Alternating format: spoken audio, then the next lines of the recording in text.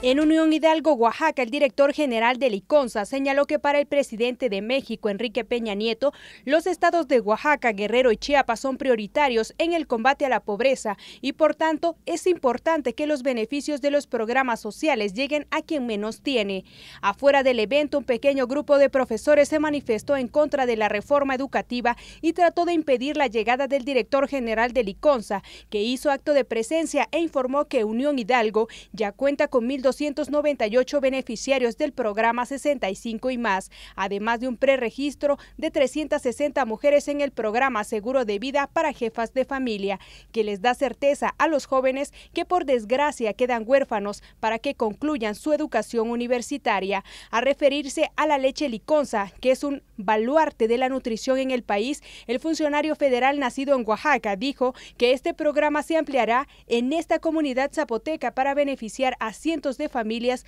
con la mejor leche de México.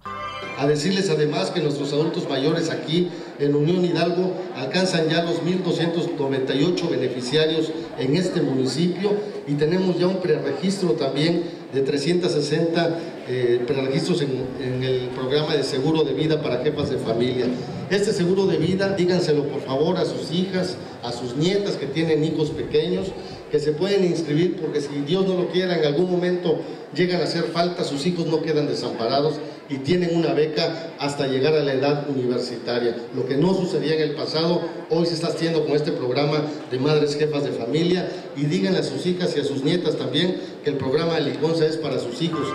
Más tarde, y al ser entrevistado al término del evento, Ramírez Puga Leiva puntualizó que la irracionalidad no abona en nada al desarrollo de los pueblos y por eso, sin importar las manifestaciones en contra, los funcionarios federales seguirán visitando las comunidades que como Unión Hidalgo tienen población indígena y marginada que requiere del apoyo y del compromiso del presidente Enrique Peña Nieto para salir de sus rezagos, muchos de ellos ancestrales principalmente en materia de educación, salud y nutrición.